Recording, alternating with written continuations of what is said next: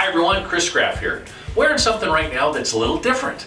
Not a tie, not a suit, because I wear those all the time. I'm actually wearing a beard and long flowing hair that I've been growing for a long time for a lot of reasons, mostly just having some fun.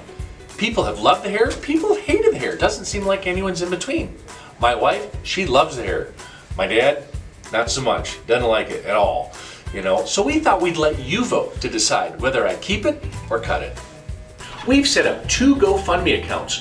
One to keep the beard and the long locks, and a second one to return me to my clean shaven self of yesteryear.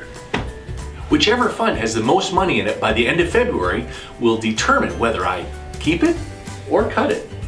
100% of both GoFundMe accounts will be given equally to four great charities.